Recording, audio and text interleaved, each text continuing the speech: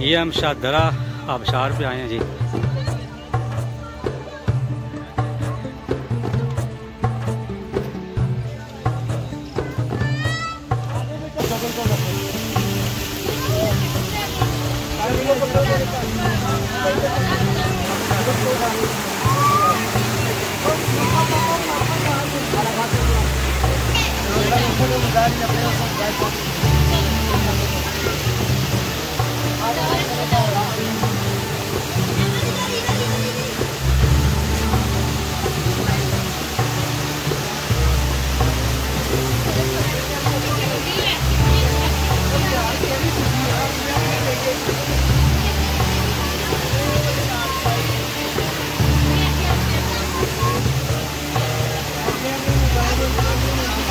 guys up.